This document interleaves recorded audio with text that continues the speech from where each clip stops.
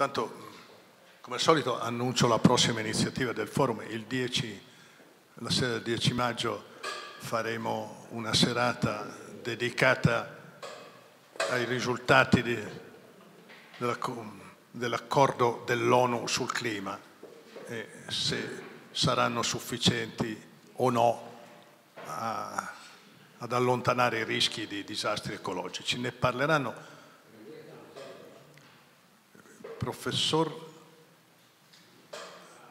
come si chiama? Maracchi, Maracchi che è un meteorologo, eh, docente di climatologia all'Università di Firenze, assieme al segretario di Lega Ambiente di Ivrea. Eh? questa serata nasce da una sollecitazione che avevamo portato a Roberto Esposito uh, la scorsa estate, insomma, a seguito di un articolo che aveva scritto sulla Repubblica, che è qualche misura premonitore. Ecco. Se non ricordo male il titolo era Leviatano 2.0, eh? la rinascita degli stati sovrani, eh? il crollo eh, dell'idea eh, di soluzioni sovranazionali il risorgere dei, delle pulsioni nazionalistiche di rafforzamento degli stati nazionali. Eh, allora non, era ancora, non, eravamo ancora nel pieno di questa crisi dell'idea d'Europa. Eh, il professor Esposito ci aveva pregato di attendere l'uscita del suo nuovo libro, l'abbiamo fatto, è un testo importante, la libreria Cossavella, Aldo Cossavella, chi lo desidera poi in grado di fornire subito le copie di questo libro che sono in ristampa, eh? sono appena uscite da una ristampa che denota un notevole interesse sulla scienza. Ringrazio anche in particolare, l'abbiamo organizzato col Movimento Federalista, eh, il professor Levi ha accettato di venire qua questa sera a introdurre e, e in qualche misura guidare ecco, con alcune sue sollecitazioni al professor Esposito il, la discussione che sicuramente poi ci sarà. Eh, ringrazio moltissimo entrambi e eh, do la parola per prima a Lucio Levi ringraziandolo molto della sua disponibilità. Posso rimanere seduto? No, ma devi tenere il microfono in mano. Sì. Ah, ah, va bene, d'accordo. Va bene. Buonasera.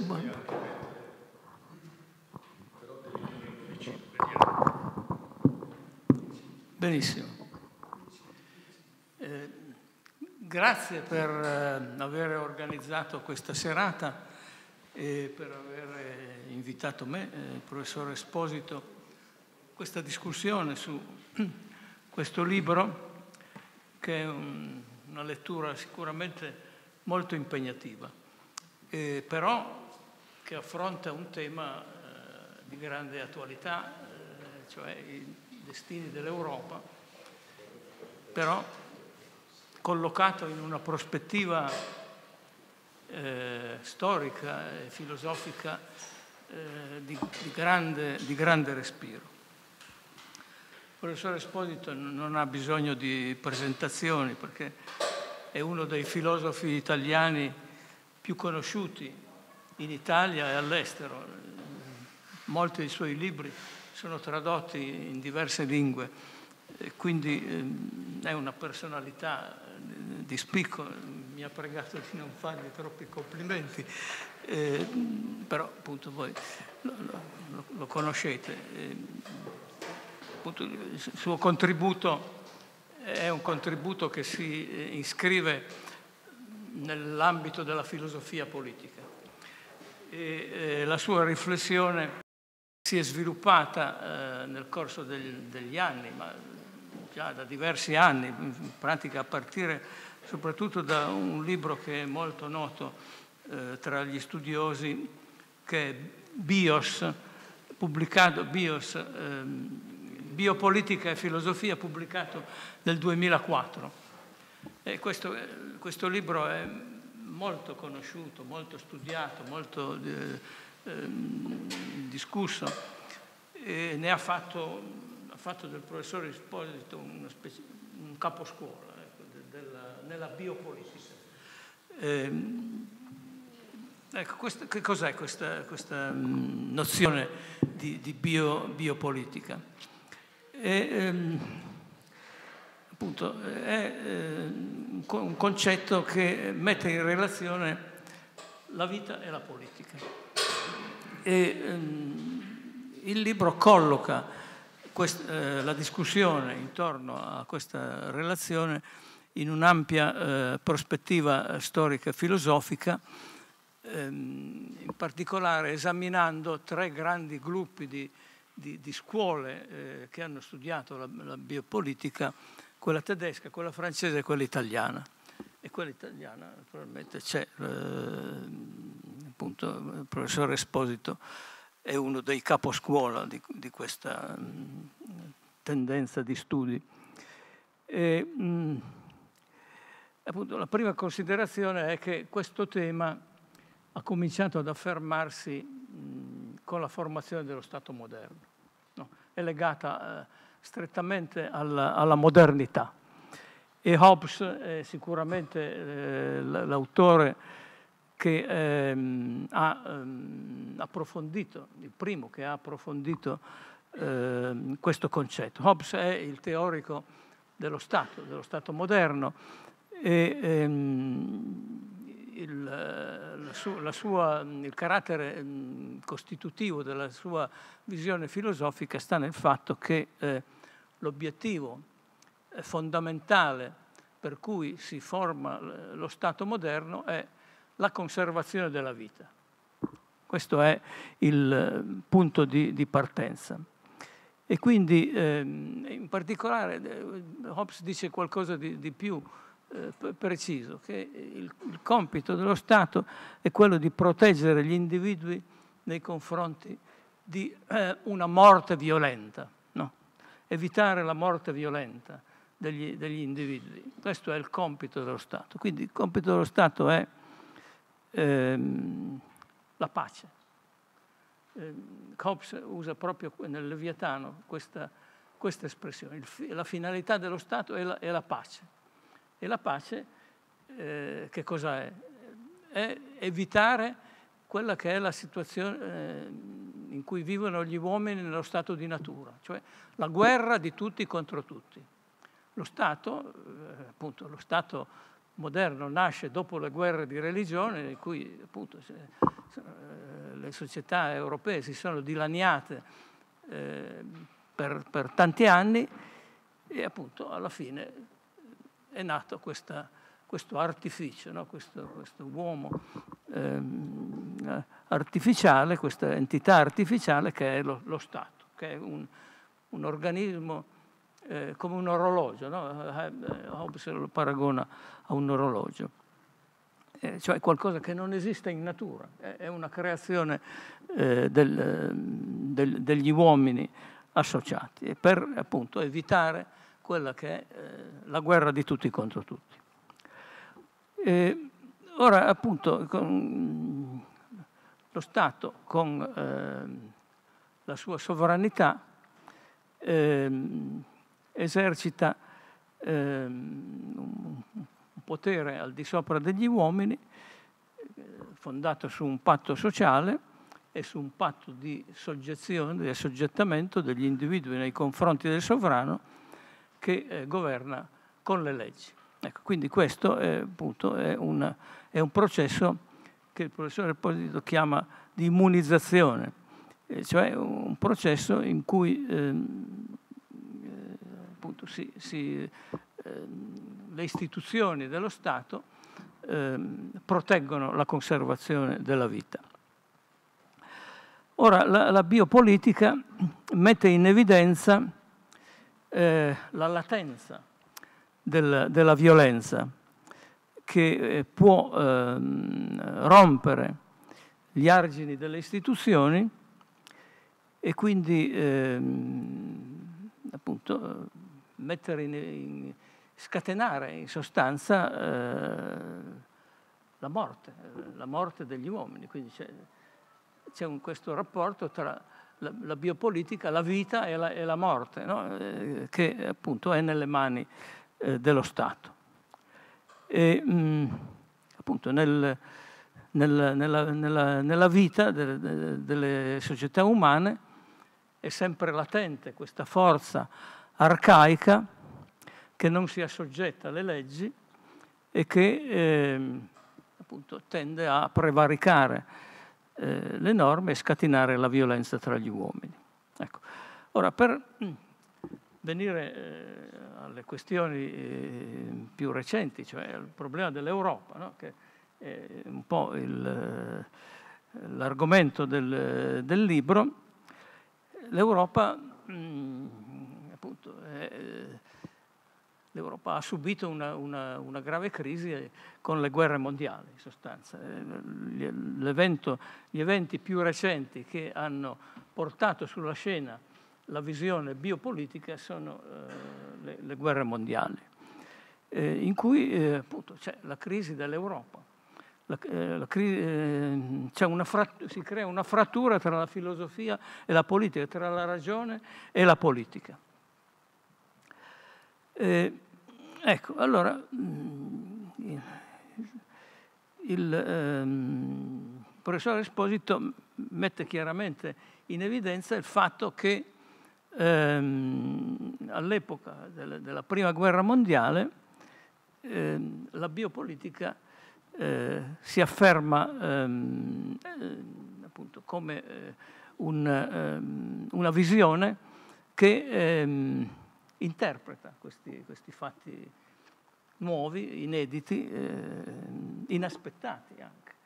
Eh, quindi, eh, ora appunto la, la, mia prima domanda è che non possiamo limitarci a constatare eh, che c'è una crisi dell'Europa, che c'è una frattura tra eh, la ragione e la politica, scatenata dalle guerre mondiali, ma dobbiamo cercare di capire perché, e questa è la mia prima domanda, perché all'epoca della prima guerra mondiale, cioè all'inizio del Novecento, eh, si, eh, l'Europa ha esaurito la sua capacità di farsi guidare dalla ragione e precipita in questo abisso di violenza che, che poi, eh, appunto, poi nel periodo tra le due guerre eh, produce il nazismo, il fascismo, eh, cioè delle aberrazioni che eh, sono arrivate eh, inaspettate. Cioè, si credeva che l'Europa fosse eh, la, la regione più civile del mondo e invece conosce eventi eh, di una ferocia, eh, di una violenza eh, inedite, insomma, che non hanno prece- senza precedenti. Ecco, allora appunto eh, io sono, sono, incline a mh, declinare questo concetto della crisi dell'Europa eh, con, mh, in una mh, versione più, ehm, forse più precisa, ma comunque ehm, contestualizzata nel campo della, della politica. Cioè ehm, la crisi dell'Europa è la crisi di un'istituzione specifica che ha governato l'Europa, cioè la crisi dello Stato nazionale. Quindi appunto più che di crisi dell'Europa io parlerei di crisi dello Stato nazionale, che appunto ha eh, come implicita risposta il problema dell'unità europea. Perché il problema dell'unità europea si pone già nel, nel, momento in cui scoppia la prima guerra mondiale. Ci sono due grandi autori che io cito continuamente che eh, quando scoppia la prima guerra mondiale dicono che mh, la, la, Germania eh, diventa diventato uno Stato egemone, tende a trasformare l'Europa in un, in un impero. E, e, questi autori sono uno è Inaudi, Luigi Inaudi, un liberale, e l'altro un comunista, Trotsky. Tutti e due, nel, quando esplode la prima guerra mondiale, dicono che la guerra mondiale è l'espressione negativa di un bisogno di unità dell'Europa, cioè di riequilibrare il potere emergente delle grandi potenze che stanno al, al, ai fianchi dell'Europa, gli Stati Uniti e eh, l'Unione Sovietica. Eh, ecco, quindi la Germania interpreta questo bisogno di grandi spazi economici e quindi eh, la Germania con il suo imperialismo tende a unificare l'Europa, quindi tende a rispondere a un bisogno profondo che eh, sta nel grembo della storia, eh, che è quello di eh, assecondare la spinta delle forze produttive che tendevano a eh, organizzarsi su spazi di dimensioni regionali. Ne parlavamo prima, eh, poco tempo fa, eh, quando chiacchieravamo a cena. E, mm, ecco, allora, mm, appunto, direi che eh, questo è il, il, primo, il primo punto.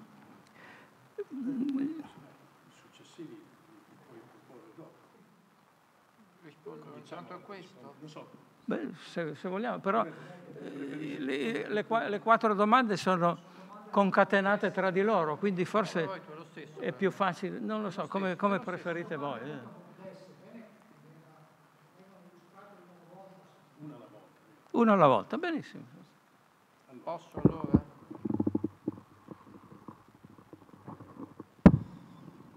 Ma intanto voglio ringraziare Aldo Gandolfi per questo invito, il professore Levi, Lucio Levi per le parole che ha detto e ringraziare tutti voi che questa sera ci avete dedicato a questa vostra serata. E, e dunque che cosa accade all'inizio del Novecento quando l'Europa va in crisi fino ad arrivare alle guerre mondiali? Ma diciamo eh, la risposta sta un poco nelle cose dette, cioè è stato il passaggio dalla nazione al nazionalismo, al colonialismo e all'imperialismo. La nazione che cos'è? Quando sono nati gli stati moderni, tra 4, 5, 600, quella nascita degli stati moderni è stato un elemento necessario, no? Sono, è stata l'uscita dalla fase tardo medievale, feudale e la creazione di stati che hanno garantito sul territorio europeo l'ordine. Questi stati eh, non potevano essere considerati delle semplici macchine, e quindi poco alla volta è nata l'idea di nazione come qualche cosa che appunto teneva insieme all'interno di uno stesso territorio gli abitanti con delle finalità comuni, con una lingua comune, spesso con una religione comune. Quindi l'idea di nazione quando nasce è stata qualcosa non diciamo negativo o positivo, ma, ma di necessario per appunto compattare le unità statali europee. A un certo momento, poi da un certo momento in poi, le nazioni cominciano ad assumere un'ideologia nazionalista, cioè a scontrarsi tra di loro per l'egemonia, per il predominio in Europa, cominciano, ma questo già a partire se vogliamo dalla scoperta dell'America, un percorso colonialista, soggiogando grande parte del resto del mondo, l'Africa, l'Asia e poi appunto l'America, l'Oceania, e infine eh, il fenomeno dell'imperialismo, cioè appunto alcune nazioni hanno preteso di imporre all'Europa la propria unità, non l'unità federale dell'Europa, pensiamo già a, a Luigi XIV in Francia, poi Napoleone e, e poi Hitler, sono tutti stati questi tentativi di unificare l'Europa sotto il potere egemone, sotto il tallone, diciamo, imposto dalla guerra di un singolo Stato. Ecco, a questo punto questi tre fenomeni, nazionalismo, imperialismo e colonialismo, si sono mischiati con un elemento ancora peggiore che il razzismo, in particolare nella Germania nazista, e tutto questo ha precipitato l'Europa in una crisi sfociata nelle due guerre mondiali in cui è stata di fatto eh, salvata dagli Stati Uniti, per certi versi. C'è stata appunto la resistenza della Francia, dell'Inghilterra, però a, a decidere è stato l'intervento degli Stati Uniti. Dopo la guerra, finalmente è nata l'idea appunto federalista di unificare l'Europa non più sotto il pugno di una potenza e sotto la violenza degli eserciti, ma attraverso diciamo, una serie di accordi che poco alla volta portassero l'Europa verso l'unità.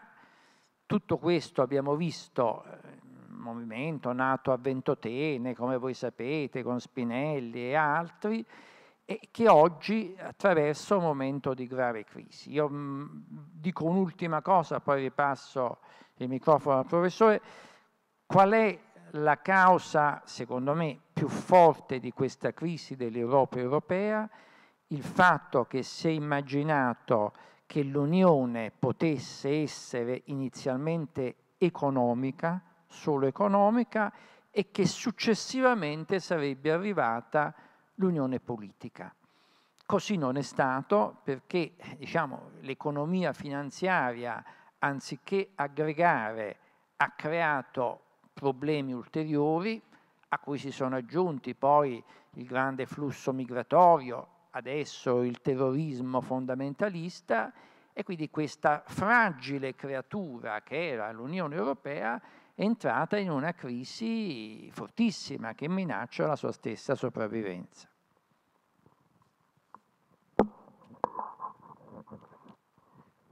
Sì, e, mh, mm, appunto la mia, la mia risposta a, que, a, questa, mh, mm, a, questo problema la, la darò dopo la, la, seconda domanda, in cui eh, interpreto insieme due fenomeni che sono collegati tra di loro e che devono essere studiati sulla base delle stesse chiavi interpretative.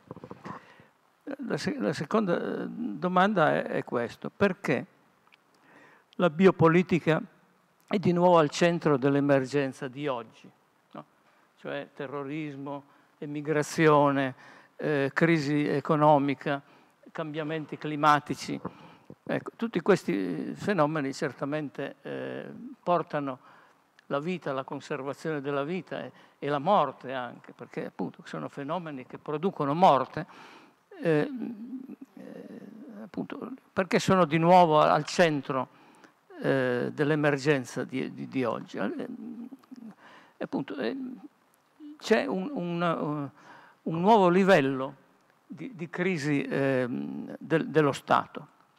Ecco, mentre all'epoca delle guerre mondiali eravamo di fronte alla crisi dello Stato nazionale, oggi siamo di fronte alla crisi di tutti i tipi di Stato, anche di quelli di dimensioni macro-regionali, che appunto eh,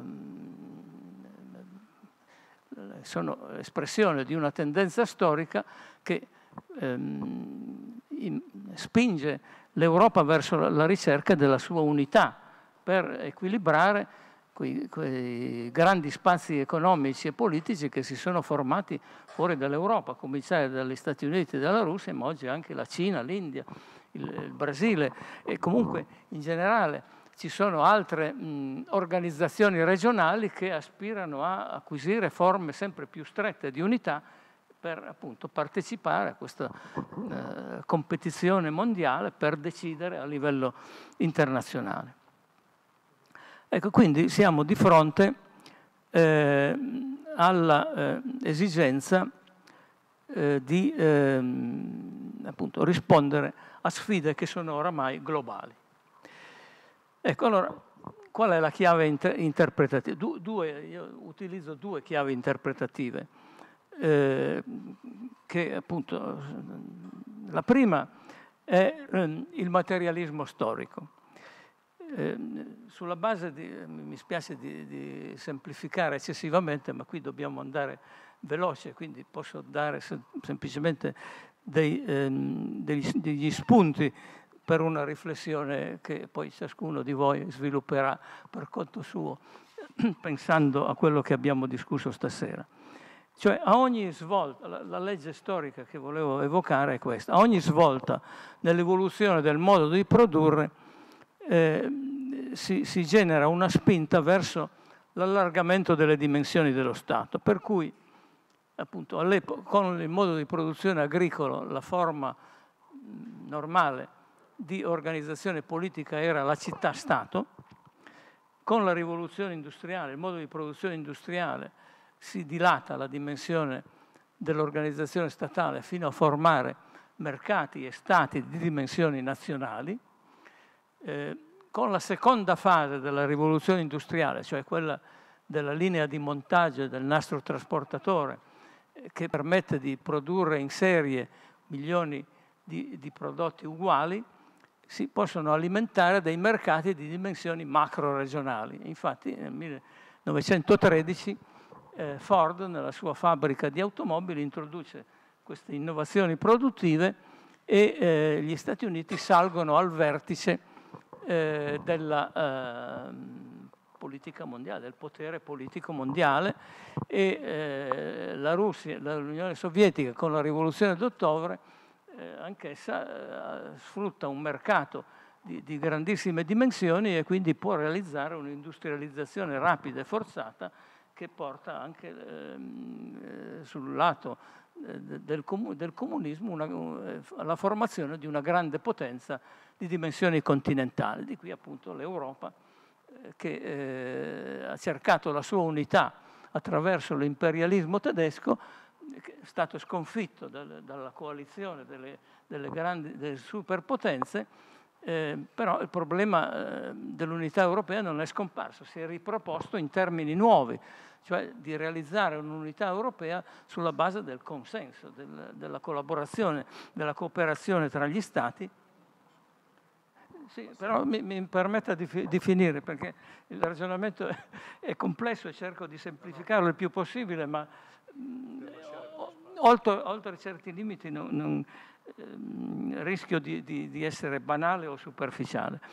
Eh, ecco, quindi eh, la, la, la, la seconda fase del modo di produzione industriale genera una spinta verso la formazione di stati di dimensioni macro-regionali. L'unificazione europea è una risposta a questa esigenza storica. E, però oggi siamo in una nuova fase del modo di produzione, cioè il modo di produzione scientifico che ha ehm, portato la scienza a diventare la principale forza produttiva e ha, ehm, la quale ha mh, scatenato il processo di globalizzazione. Quindi eh, sul piano politico è eh, posto il problema di eh, formare eh, un governo mondiale, delle istituzioni mondiali, c'è, c'è l'ONU, l'Organizzazione Mondiale del Commercio, il Fondo Monetario Internazionale, sono tutte espressioni dell'esigenza di governare processi che eh, oramai eh, sono di dimensioni globali. Per citare solo un dato, eh, all'inizio de, del secolo scorso le organizzazioni internazionali nel 1909 erano 37 e oggi, i dati del 2014, le organizzazioni internazionali sono 7600, cioè c'è eh, una spinta eh, verso l'organizzazione internazionale che è straordinaria potenza che esprime un'esigenza vitale de, de, dei popoli e della, e della politica. La seconda chiave interpretativa, e poi eh, chiudo eh, la, la, mia seconda domanda, riguarda la, ehm, un'altra ehm, teoria fondamentale per eh, capire questi fenomeni, che è la teoria della ragione di Stato. Hobbes è uno dei eh, personaggi più illustri che fanno parte di questa, di questa, scuola. Cioè la teoria della ragione di Stato è eh, la teoria dell'autonomia ehm, relativa della politica rispetto al modo di, di produzione. Ora, la, mia, la mia domanda è questa. Perché, e questa sarebbe la terza domanda, perché tra le fonti della biopolitica eh, il professor Podiso non ha ehm, eh, incluso, almeno in modo mh, teoreticamente eh, argomentato, la teoria della ragione di Stato. Perché Hobbes, ehm, gli autori da cui parte la sua riflessione sono Hobbes e Spinoza, che ehm, hanno portato ehm, la, conservazione della vita al centro della riflessione filosofico-politica. Però tra, tra questi ci sono tanti altri autori eh, significativi e, e importanti come Ranke, Hinze, Meinecke, De Hio, e appunto De Hio per esempio ha scritto un saggio intitolato L'agonia del sistema degli stati, eh, cioè, quindi che è qualcosa che va al di là eh, di quel libro che viene citato dal professore Esposito di Maria Zambrano, L'agonia dell'Europa. Ecco, non è soltanto l'agonia dell'Europa, è l'agonia del sistema degli Stati. Cioè il mondo è passato da un sistema europeo delle potenze a un sistema mondiale. Dopo la, fine della seconda guerra mondiale si è formato un sistema mondiale bipolare formato da stati di dimensioni continentali che eh, competono tra di loro e ehm, appunto questo è eh, un ehm, appunto, aspetto fondamentale del, della crisi di cui, di cui, stiamo parlando, cioè eh, è tramontato un ordine mondiale, il sistema europeo delle potenze, che aveva eh, un, controllo de, del mondo a un sistema mondiale delle potenze, bipolare, governato da due superpotenze di dimensioni macro-regionali che dopo la fine della seconda guerra mondiale si sono spartiti l'Europa e eh, l'hanno assoggettata alle rispettive aree di influenza.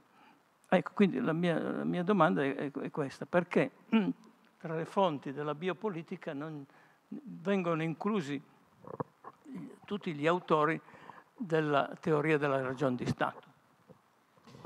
Grazie, ma io non entro in questioni filosofiche troppo tecniche, diciamo perché la situazione non è tale da consentirlo. Invece vorrei stare un poco sulla questione eh, stati, macro stati regionali e organizzazione mondiale, diciamo alla fine della seconda guerra mondiale, appunto la crisi della sovranità degli stati nazionali determina il passaggio a una nuova fase che è quella dei grandi stati a dimensione continentale.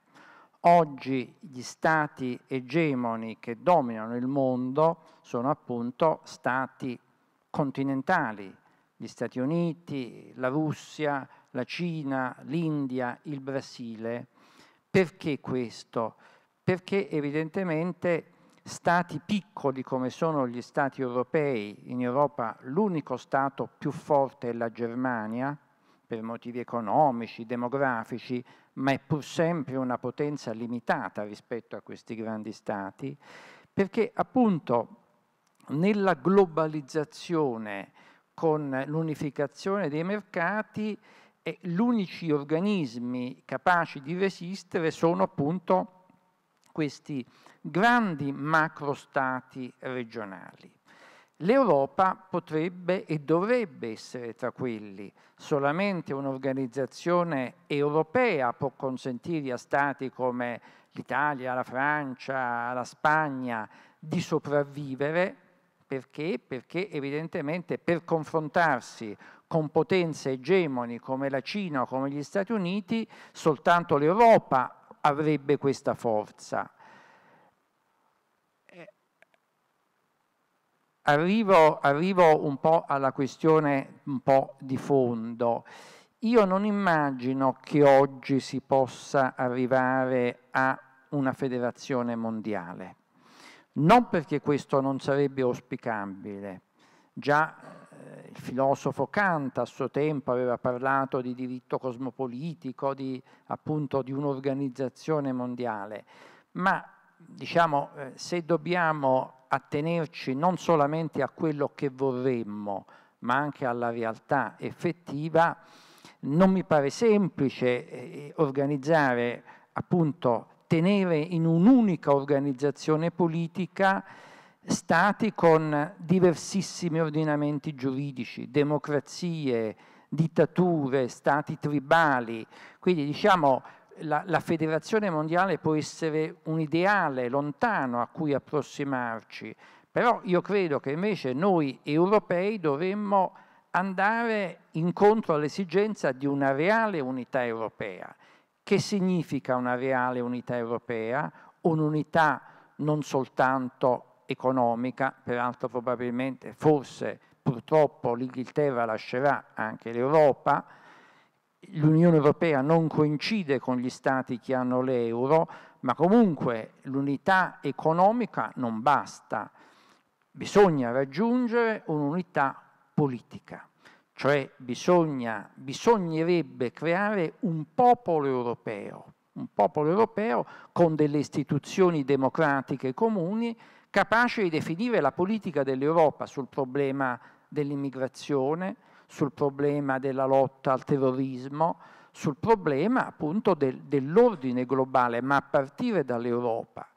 Questo è reso difficile perché la costruzione europea che si è fatta appunto non prevede elezioni globali europee, non prevede diciamo, una sovranità dell'Europa, non esiste una forza armata europea, non esistono neanche eh, diciamo, delle guardie di confine dell'Europa, non esiste un'unità giudiziaria dell'Europa, per cui ogni Stato ha i suoi ordinamenti e quindi se in un piccolo Stato come il Belgio c'è stata recentemente una, una vera e propria catastrofe, cioè c'è stato un collasso per la differenza all'interno del Belgio, eh, questa stessa cosa si verifica a livello europeo. Quindi io credo che tutti gli sforzi vadano fatti per andare verso una maggiore unità europea. Naturalmente la creazione di muri,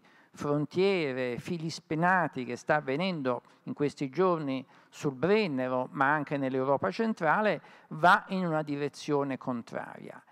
Per fare questo ci vorrebbero delle classi dirigenti europee adeguate, all'altezza, la mia sensazione è che al momento ce ne siano poche, non, non ce ne siano. Insomma.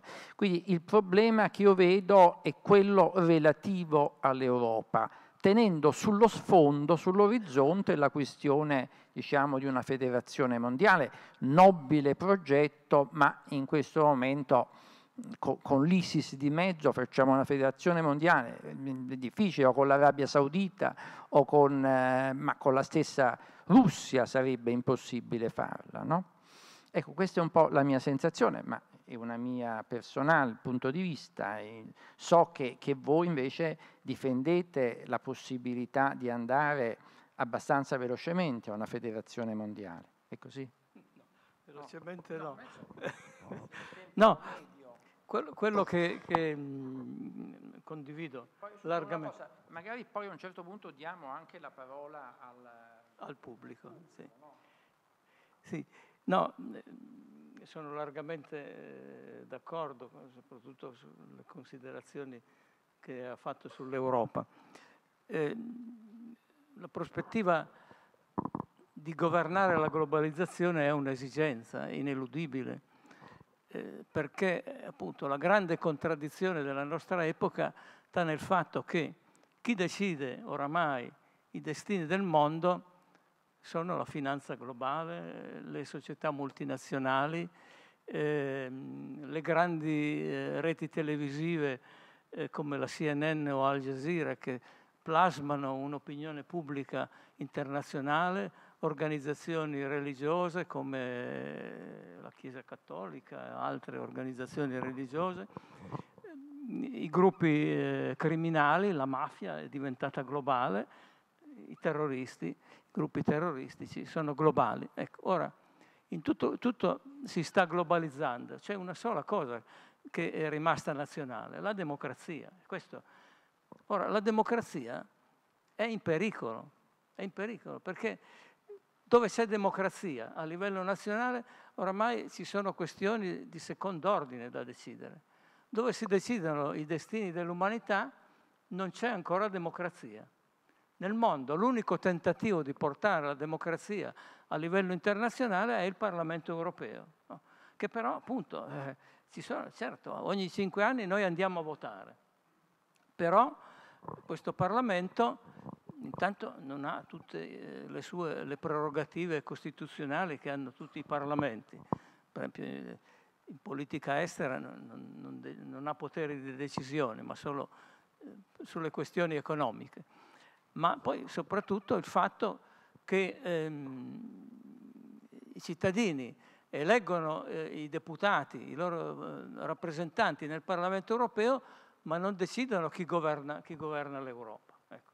Un piccolo passo avanti si è compiuto in occasione delle elezioni europee del 2014, cioè quando il Parlamento europeo per la prima volta, facendo un braccio di ferro con il Consiglio europeo, è riuscito ad affermare il suo potere di eleggere lui il Presidente della Commissione e non il, il Consiglio europeo. No? E questo è stato sicuramente un passo avanti. Cioè, dopo le elezioni, dopo che i cittadini si sono espressi e hanno ehm, appunto dato eh, più voti al Partito Popolare Europeo, allora il Parlamento Europeo l'aveva già detto in anticipo, prima delle elezioni, il partito che avrà più voti, sarà, il capolista di questo partito sarà quello che... Sì, ho, finito. Ho finito il partito che ha, che ha, avuto più voti alle elezioni europee sarà quello che designerà il Presidente della Commissione. E così è stato. Ecco. Però certo siamo ancora indietro perché questo non basta. Eh, eh, una, vi faccio una domanda. Chi di voi sapeva, chi di voi sapeva eh, questa cosa quando è andato a votare? Cioè sapeva che il capolista del, del, del partito che avesse avuto più voti sarebbe diventato presidente della commissione. Ecco, allora.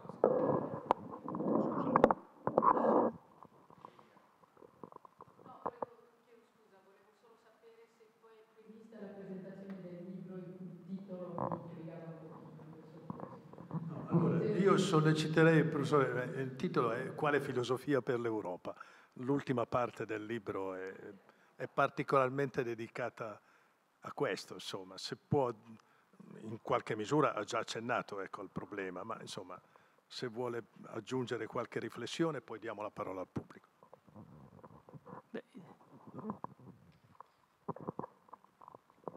Ma sì, adesso diciamo la, la, serata è andata in questa direzione delle domande e delle risposte, è difficile ripartire da capo. Insomma, il, il, libro è nato dentro un po' il mio percorso in seguito a un altro libro che era dedicato all'Italia, alla filosofia italiana.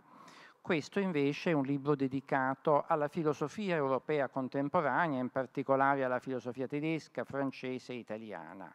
Però il punto più interessante per noi qui è appunto una riflessione sulla crisi attuale dell'Europa questa crisi attuale dell'Europa, se noi ricordiamo anche quello che successe un anno fa con la Grecia, ricordate, no?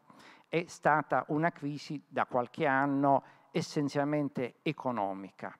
Crisi economica ha determinato una separazione tra paesi forti e paesi deboli, paesi mediterranei, e all'interno di ciascun paese tra strati sociali sempre più ristretti e privilegiati, destinati a drenare un po' tutte le risorse e le ricchezze, e strati sociali sempre più ampi portati alla vera e propria disperazione, in una crisi di sopravvivenza che noi tutti sperimentiamo continuamente.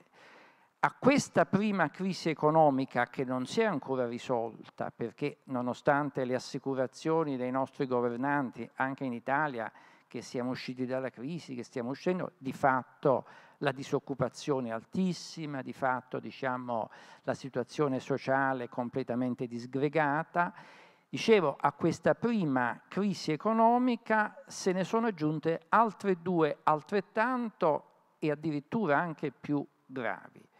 E cioè, da un lato, il flusso immigratorio scatenato in parte dalle guerre prodotte spesso dagli stessi occidentali in Nord Africa a partire dalla Libia, in Siria, in Iraq e questa crisi immigratoria, come dire, ha posto le classi dirigenti europee in una tragica alternativa, quella cioè di respingere questi poveracci, questa gran massa diciamo, di poveracci, poi no, non tutti insomma sono tali, ma quindi di, di, di condannarli di fatto a morte, soprattutto se vengono dal mare, oppure di accoglierli, eh, però in una forma che in qualche modo eh, comincia a, a, entrare in contrasto con le esigenze delle popolazioni locali. Quindi questa crisi che è forse poco definire solo umanitaria, io ho usato l'espressione richiamata prima dal professore biopolitica, in che senso? Che in questo caso le decisioni politiche possono determinare la sopravvivenza o la morte di alcune persone. Quindi la politica non riguarda più il regime politico, la distribuzione del potere, ma riguarda la carne viva di persone che sono in fuga, che scappano, persone che sono anche nei nostri paesi attanagliati dalla fame, dalla malattia, eccetera. E infine, quindi, crisi economica, crisi dell'immigrazione, poi crisi terroristica, a un certo punto l'Europa è stata per la prima volta in questi mesi insanguinata, no? A Parigi, a Londra, in Spagna, in Belgio, e tutto questo che cosa richiede questa sovrapposizione di crisi che hanno formato un'unica grande crisi? Richiederebbe appunto più, secondo alcuni richiederebbe la chiusura all'interno degli stati, no? appunto la costruzione di barriere ai confini, è una tesi ormai molto diffusa, fatta proprio da alcune parti politiche che spesso vincono anche le elezioni, secondo altri invece, me incluso, richiederebbero più Europa, cioè la, una maggiore solidarietà interna, una diversa distribuzione della ricchezza in tutti i paesi e nell'Europa nel suo complesso e delle istituzioni comuni. Richiederebbe un'Europa non più delle elite, ma del popolo, popolo capace di determinare la politica europea. Quindi questa è la situazione attuale eh, che, che, noi vediamo scorrere di fronte ai nostri occhi dagli schermi televisivi, ma che sentiamo nella nostra vita, diciamo, materiale, nella nostra vita quotidiana. Ecco, questa questione è stata affrontata, io, io insegno filosofia, quindi diciamo anche dalla filosofia, in modi diversi che qui diciamo non so se è il caso di richiamare, ma il problema di fondo è proprio un problema politico, storico, antropologico, nel senso che la popolazione europea sta cambiando anche etnicamente per il calo demografico dei paesi europei e per invece il forte aumento demografico dei paesi extraeuropei e, e quindi è una situazione da un lato inevitabile. Non è possibile che l'Europa si chiuda in una fortezza e, e resista diciamo, agli attacchi, alle pressioni esterne, ma non è neanche possibile una totale apertura e quindi una perdita dei caratteri diciamo, originari dell'Europa, si si tratta di trovare un giusto equilibrio, le classi politiche europee devono essere chiamate a questa responsabilità. A volte, dico quest'ultima cosa, le crisi eh, determinano a un certo punto delle soluzioni per necessità, cioè le crisi a volte hanno anche una funzione costituente, positiva, quando si arriva diciamo, al punto massimo di crisi si è costretti a, ad andare verso determinate soluzioni.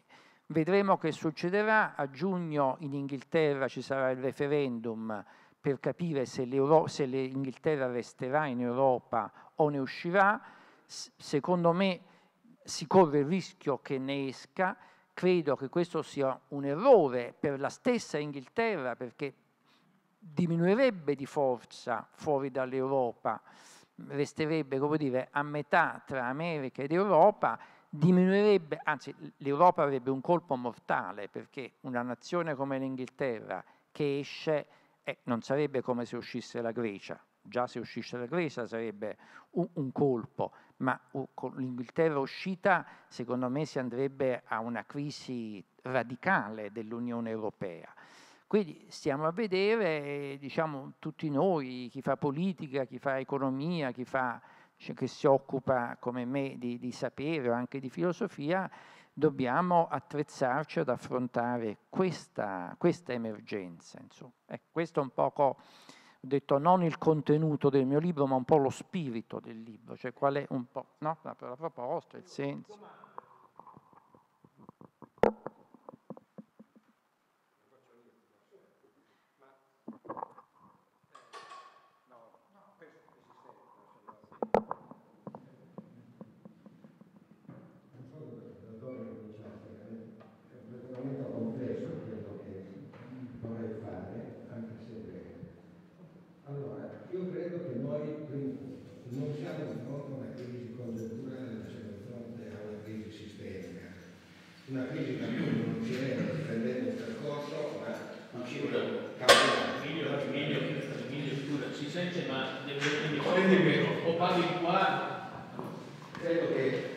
Ripeto, non siamo di fronte a una crisi congiunturale, siamo di fronte a una crisi di sistema. Non usciremo riprendendo prima o poi i percorsi che avevamo eh, avviato, avevamo eh, seguito per tanti, per tanti, decenni.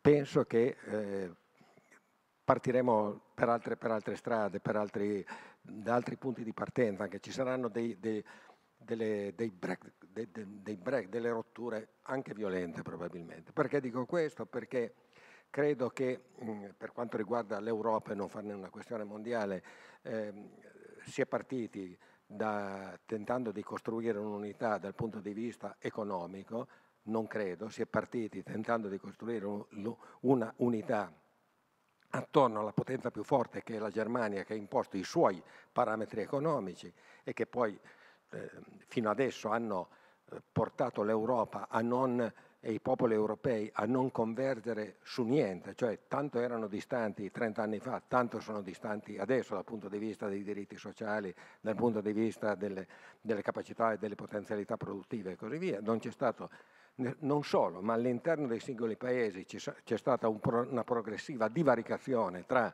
i pochi ricchi e i tantissimi, sempre più tantissimi poveri, e quindi non, non, è vero che si è affrontato il discorso da un punto di vista economico, si è affrontato da un punto di vista monetario con dei rigidi vincoli che hanno provocato eh, la difesa di, dei paesi più forti e hanno il vantaggio dei paesi più forti a scapito dei paesi più deboli che sono diventati sempre più deboli, a vantaggio delle classi più forti che sono diventate sempre più forti, a svantaggio delle classi sempre più deboli anche di fronte a crisi come quelle che avete eh, citato voi, che sono eh, sotto gli occhi di tutti, dal, dal fondamentalismo al, um, al, terrorismo, alle migrazioni epocali, la risposta qual è? Avete mai sentito parlare di principi, di ideali, di valori europei? Dove sono i valori dell'Europa? Cioè, dove è l'Europa? Non esiste l'Europa, non esiste, esiste l'euro, esiste un paradigma economico, econometrico, ormai superato dai fatti e dalla storia, che non si vuole cambiare.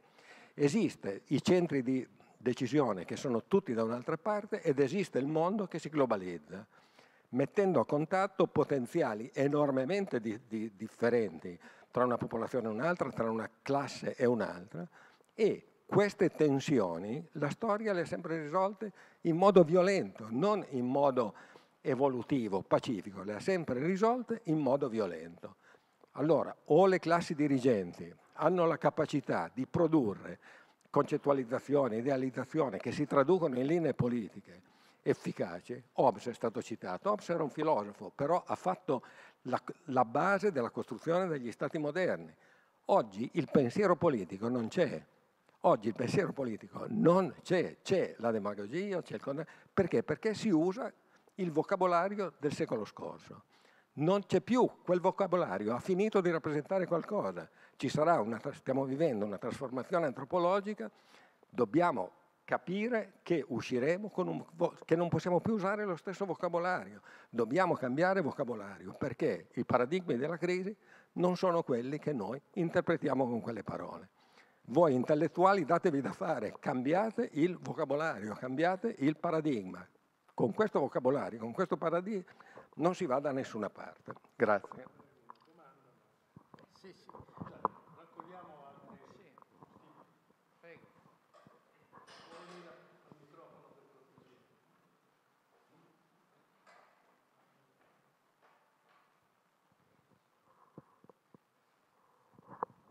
Sì, io volevo chiedere, secondo lei eh, di quale sapere si dovrebbero nutrire gli europei, per, eh, di quale filosofia dovrebbero, se c'è qualche autore, qualche linea di pensiero che ha, che ha visto che secondo lei oggi potrebbe essere feconda particolarmente?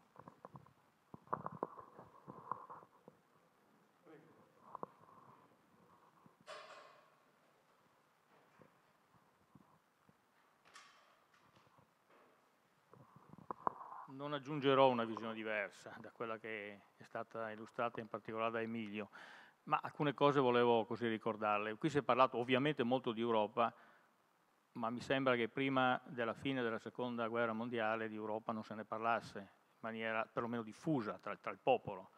E lì abbiamo perso probabilmente, in quel momento lì, abbiamo perso l'attimo, perché si veniva fuori da due guerre mondiali devastanti i sopravvissuti avevano voglia di rifondare e perché si è, ripreso, o, si è preso il, il, il cammino verso l'Europa? Perché l'ordine mondiale si pensava doveva essere ormai quello senza guerre, si doveva collaborare, si doveva trovare una forma per convivere. E quello era il momento giusto, c'era un momento di benessere eh, in Europa, in Italia, in altri paesi per la ricostruzione. Quel momento è stato perso, non vedo francamente come si possa salvare l'Europa a questo punto.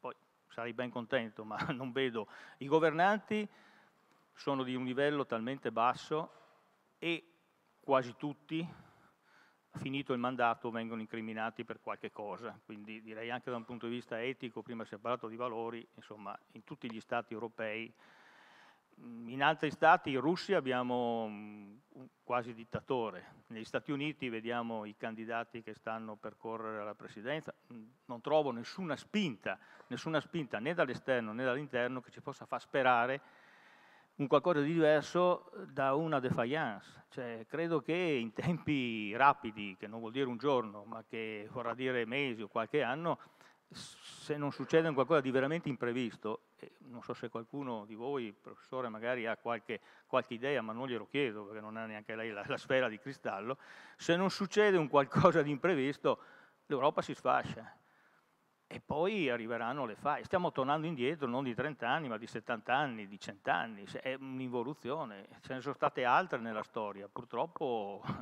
forse ci toccherà, ci toccherà vivere un'altra.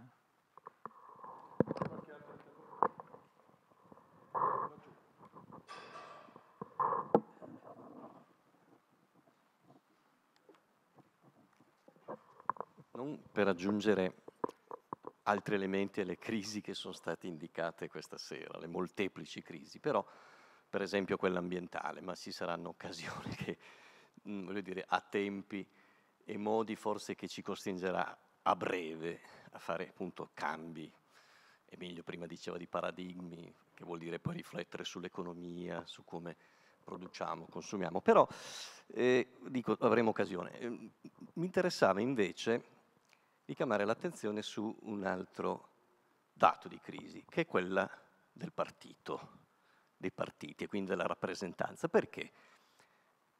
Perché partito e Stato-nazione sono due sinonimi, nel senso che il partito, per come l'abbiamo conosciuto, il partito politico era sinonimo di centralizzazione. Il partito era lo strumento attraverso cui si conquistava il potere centrale. Questo era ehm, omogeneo a tutte le culture politiche dell'Occidente, lo è stato, ed è entrato in crisi anche questo. Quindi, stasera abbiamo appunto il professor Levi, il professor Esposito, quindi il movimento federalista, cioè o ampliamo la nostra riflessione anche attorno a questo elemento di crisi, perché se non abbiamo lo strumento per la politica, che finora è stato il partito, per superare le crisi, come? Quindi dovremmo riflettere proprio sullo strumento anche, cioè come si ricostituisce la capacità di rappresentare, cioè di eh, costruire la cittadinanza e quindi la partecipazione dei cittadini. Inutile richiamare in questa città l'opposizione di eh, persone come Olivetti o Spinelli, eh, scusate, no, era l'altra fase, eh, Silvio Trentin, al partito, alla figura del partito centralizzato, proprio perché eh, per loro era sinonimo di Stato centralizzato. Quindi tutta un'altra elaborazione molto più vicina a una visione federalista, di quelle delle comunità autonome, no? fortemente guidate da cultura, tecnica in alcuni casi, no? però ecco, rivediamo, riprendiamo alcuni filoni. Allora, la necessità che oggi abbiamo di ripensare la rappresentanza, quindi una risposta alla crisi della politica, ci deve probabilmente portare a riflettere eh, anche su alcune esperienze come quello, l'ipotesi federalista che non è stata praticata poi nessun, a, tutti, a tutti gli effetti, sia all'interno dello Stato-nazione, no? cioè, sia appunto nel rapporto tra le macro regioni o macro aree, come è stato definito.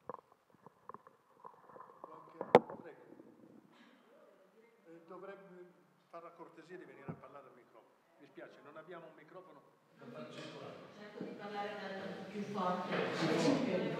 Sono, si sente d'accordo con con eh, un momento di difficoltà eh, anche di comprensione sull'Europa perché eh, sono secondo me i, principi stessi dell'unità che sono, sono in crisi, che hanno portato alle crisi, hanno portato a queste molteplici crisi, e quali per esempio la circolazione, la circolazione del, la circolazione delle persone, gli spostamenti di capitali, gli scambi gli stessi principi che hanno eh, portato alla necessità e all'esigenza dell'unità sono in crisi, appunto, gli stessi, gli stessi principi, quelli degli scambi di beni e servizi, la circolazione delle persone la circolazione della moneta.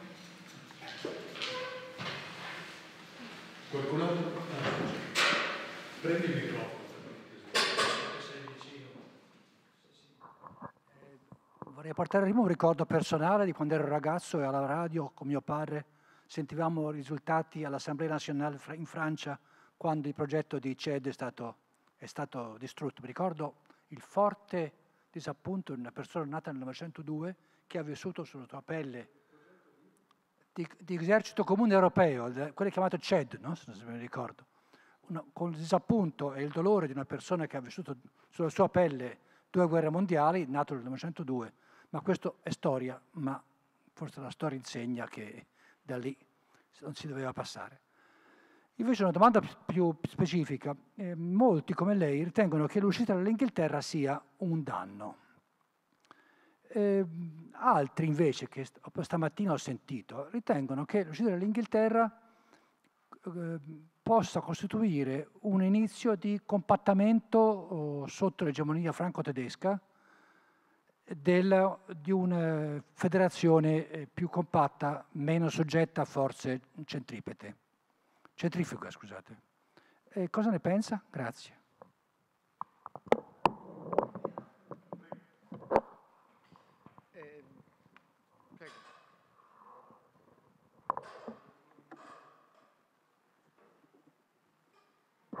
Eh, sì, solo una, una, domanda brevissima. Io sono più, più, incline a forse a pensare a compromessi o vie di uscita piuttosto che a visioni di, di, di, esatto, dirompenti.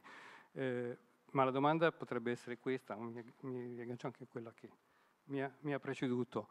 Eh, non pensate forse che oltre a una suddivisione nord-sud dei paesi europei che, poter, che, che, possa, che può o che sembra generare eh, contenziosi di tipo economico, un'altra di, divisione, questa divisione ovest-est, sia altrettanto e forse più eh, dirompente per quelli che sono gli eh, obiettivi strategici e le direzioni eh, anche divergenti in cui i paesi del, dell'est tendono ad andare rispetto ai paesi dell'ovest. Non sarebbe forse più eh, saggio per l'Europa eh, cercare di isolare certe spinte centrifughe che vengono da, dall'est, tanto per essere chiari?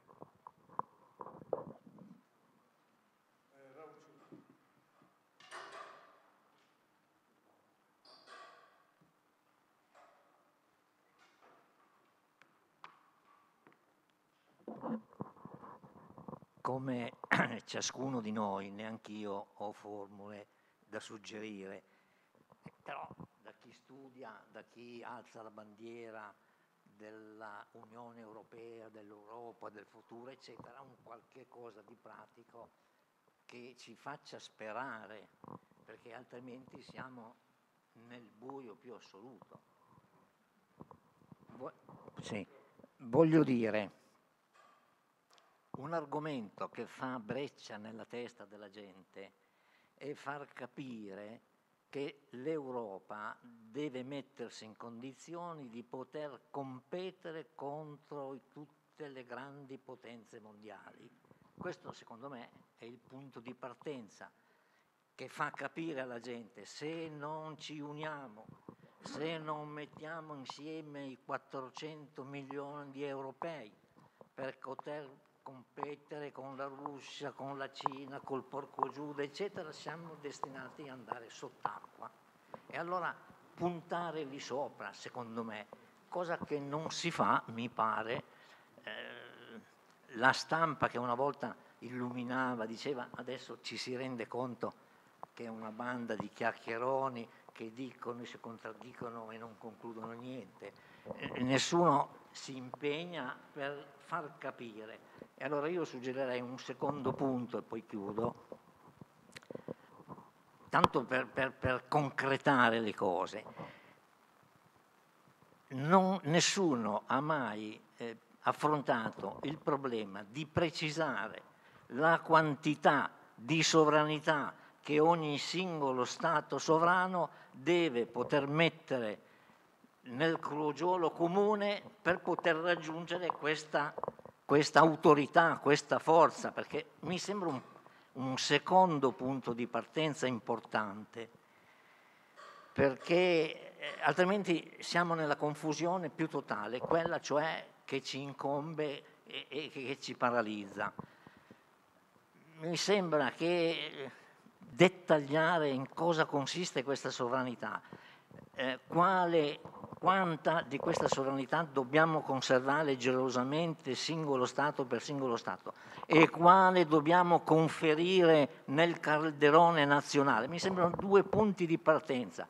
L'importanza di questo problema di fondo perché altrimenti siamo destinati noi alla miseria, non facciamo più figli, non abbiamo più prospettive di nessun tipo. Quindi capire far capire che o ci si unisce l'Europa scompare come soggetto di politica internazionale, fa il, il piccolo commercio, il piccolo cabotaggio, ma non compete a livello mondiale. Quindi alla fine. La grande Europa che ha illuminato, che ha fatto, che ha detto che si è massacrata in, con una cecità incredibile, uscendo sconfitta da due eh, imprese grandiose, terribili, terrificanti, senza concludere nulla.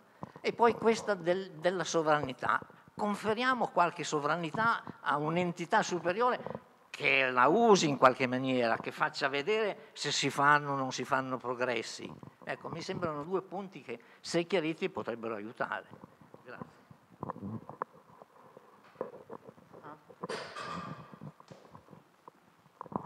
Io volevo solo chiedere al professor Esposito se ci può dire, eh, compatibilmente col tempo disponibile, eh, come effettivamente il pensiero filosofico legge la crisi attuale e che tipo di valore aggiunto potrebbe portare. Grazie.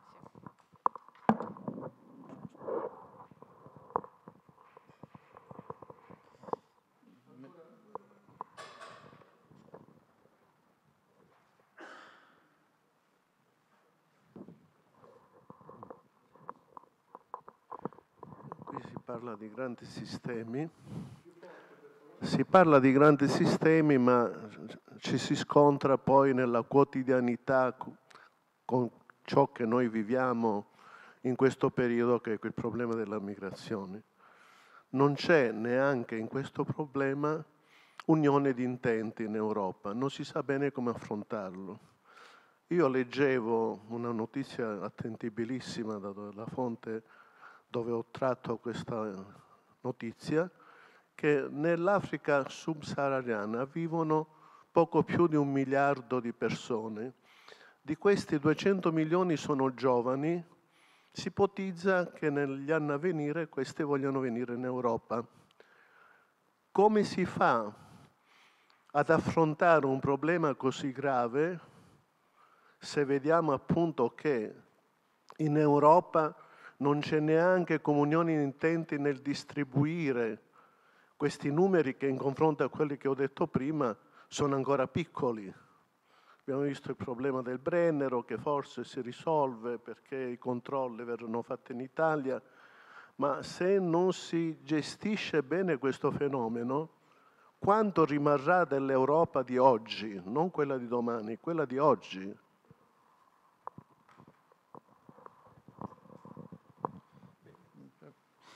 Ma, cari amici, intanto grazie di questa partecipazione, tutte queste domande alle quali, lo dico subito, io sono incapace di dare delle risposte eh, globali, sensate, mm, ci muoviamo tutti quanti un poco nel buio, a, a tentoni, quindi lo faccio anch'io, non esiste un tipo di filosofia che possa risolvere questi problemi, in generale la filosofia non ha mai risolto questi problemi, può cercare di fare inquadrare le cose in un modo diverso, farle vedere in un modo diverso, cambiare, come qualcuno diceva, le prospettive, i paradigmi, cioè il modo di interpretare la realtà. Non ha strumenti, diciamo, reali di cambiamento, può parlare alla politica, ma poi è la politica che deve agire. Io diciamo, ho raccolto qualche, qualche appunto sulle, sulle, cose dette.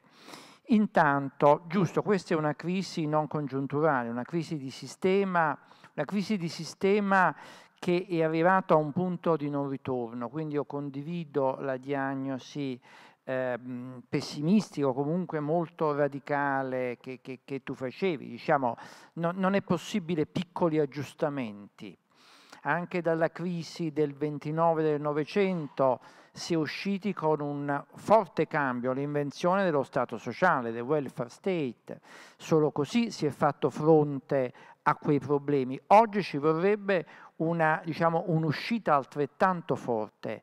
Purtroppo gli interessi di chi ha in mano le leve del potere, cioè la grande finanza globale, nel mondo 63 persone hanno la stessa ricchezza di tutti quanti gli altri miliardi di persone che esistono. Cioè, quindi in ultima analisi, poi se volete veramente sapere io come la vedo, dentro questo regime capitalistico non c'è una soluzione.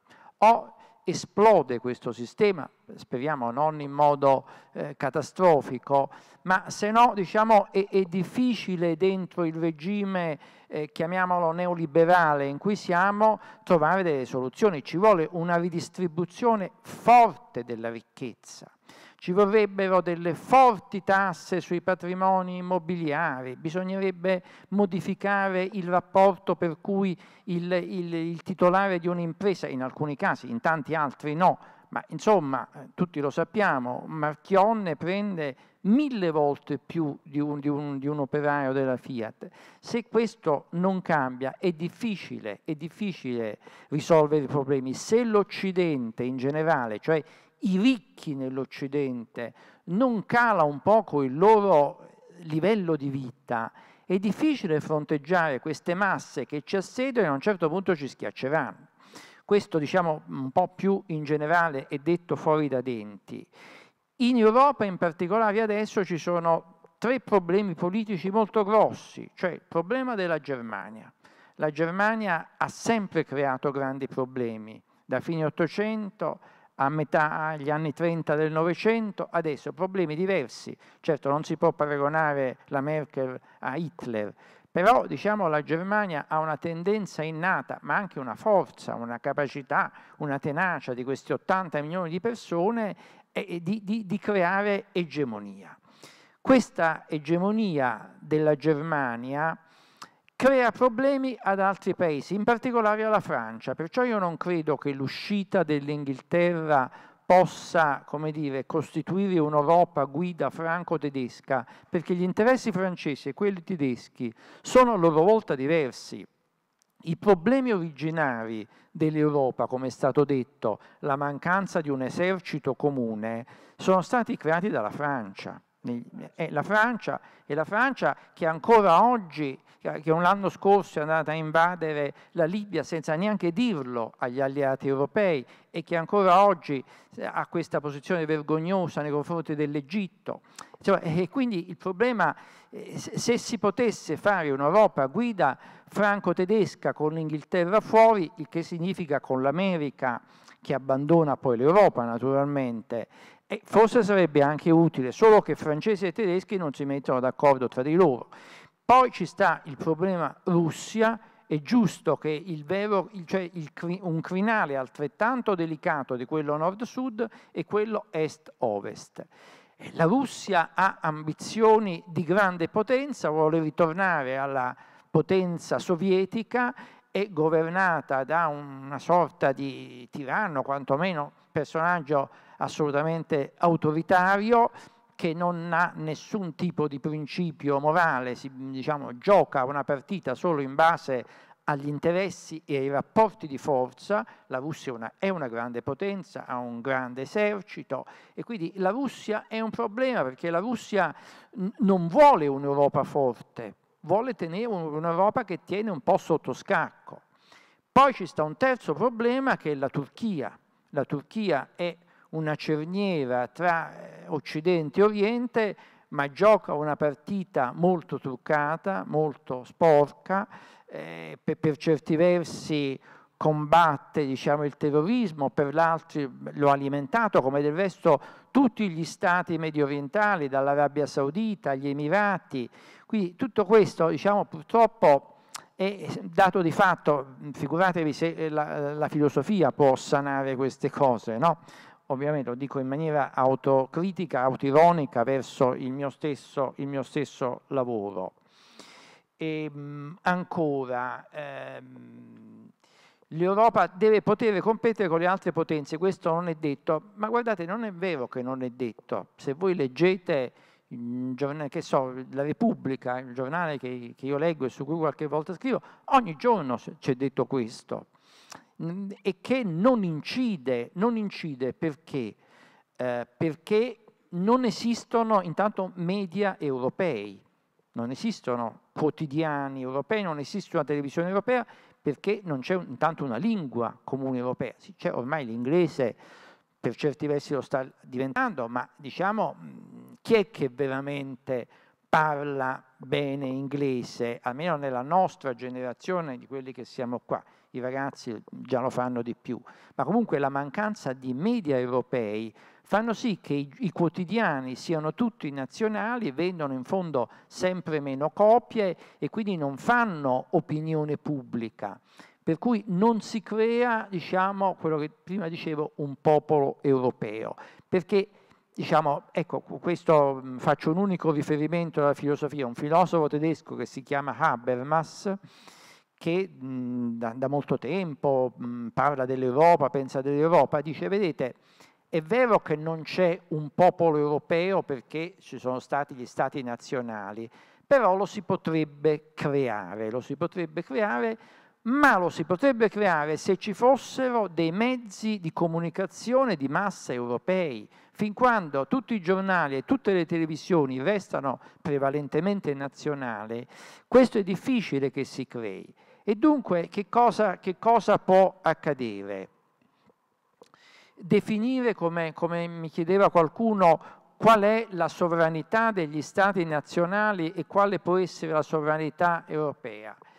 La sovranità ha sempre significato, da, da, da 500 anni, dominio sul proprio territorio, battere moneta, un, una, diciamo, procedure giuridiche di un certo tipo e, diciamo, e, e un esercito. Questi sono stati gli attributi tradizionali della sovranità nazionale. Si possono trasferire all'Europa? Teoricamente sì, di fatto no, perché nessun paese vuole appunto, siccome i paesi europei hanno forza diversa tra di loro, e sul piano economico e sul piano militare. La Francia e l'Inghilterra hanno la bomba atomica, sono, eh, perché sono i paesi che hanno vinto la guerra, anche se la Francia l'ha persa in realtà, però mh, mm, si ritiene che l'abbia vinta perché, diciamo, per la vicenda che voi sapete, De Gaulle eccetera. La Germania e l'Italia hanno perso la guerra e quindi non hanno eserciti e non hanno armi di distruzione di massa. Questo fa sì che in ultima analisi, quando si dice che so, l'Italia eh, guida la spedizione in Libia, ma questo è uno scherzo, ma mi pare che la Francia e l'Inghilterra danno all'Italia la guida di qualche cosa. L'Italia è, è, è ridicola come potenza militare, ammesso che fare la guerra sia una soluzione che la si possa accettare, ma se così fosse sarebbero sempre le nazioni più forti a gestire. Sul piano economico non c'è paragone tra la Germania che ha utilizzato l'Unione Europea per rafforzarsi, per rafforzare il marco, perché l'euro è il marco esteso. Questo ha strangolato un po' le economie di tanti paesi, ci sono paesi molto messi male come il Portogallo, la Grecia, la Spagna e per certi versi anche l'Italia. E, e, poi c'è un ulteriore aumento che forse l'Europa era possibile se si restava in una quindicina di stati. Nel momento in cui sono entrati tutti gli stati orientali usciti dall'Unione Sovietica, questo è ancora più difficile perché appunto pencolano tra Russia ed Europa Insomma, ci sono eh, situazioni a tutti i livelli complessissime. Detto questo, io penso che la responsabilità di quelli che si definiscono in una maniera un po' grottesca intellettuali, quale sia questa responsabilità? Quella di dire appunto, guardate che se noi restiamo in questa condizione o perdiamo anche quelle piccole conquiste verso l'Unione che abbiamo fatto, noi soccomberemo perché i cinesi ci soffocheranno sul mercato perché non pagano la manodopera, perché gli arabi ci chiuderanno i pozzi del petrolio, perché le fonti energetiche alternative sono eh, difficili e costose. Ecco, però forse um, su questo chiudo, un'unica speranza potrebbe proprio venire dalla questione ambientale che qualcuno ha nominato. No? Forse per la prima volta, sotto la minaccia del fatto che i ghiacci si sciolgano, le acque del mare crescono, i paesi sono inondati, sotto la minaccia di fattori ambientali che tutti gli scienziati hanno dichiarato ineludibili. Se voi non fate questo, il mondo tra cento anni perirà, questo può essere un, una prima spinta a, diciamo, a fare qualche accordo, come in fondo è stato fatto a Parigi sull'ambiente, minimo, ma insomma è stato fatto. Perché? Perché gli uomini si muovono solamente sotto due spinte, l'interesse e la paura. l'interesse e la paura. Quindi se vengono terrorizzati da quello che può accadere, da una catastrofe universale, si muovono. Altrimenti se questa paura non è abbastanza, la necessità non è abbastanza forte, si muoveranno sempre in base ai loro interessi. Siccome il regime capitalistico in cui tutti siamo invoca il fatto che ognuno segue i propri interessi, non c'è soluzione. Quindi, figura, eh, sì. Vale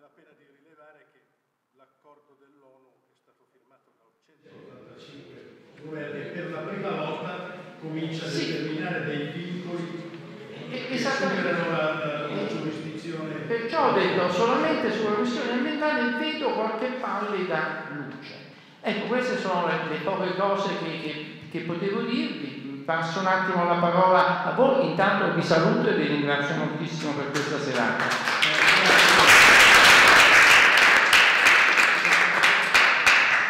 Io credo di interpretare tutti esprimendo un vivo ringraziamento a Lucio Levi e Roberto Esposito per la loro disponibilità questa sera e augurandoci di poter commentare queste cose con un po' più di speranza tra qualche tempo. Grazie ancora.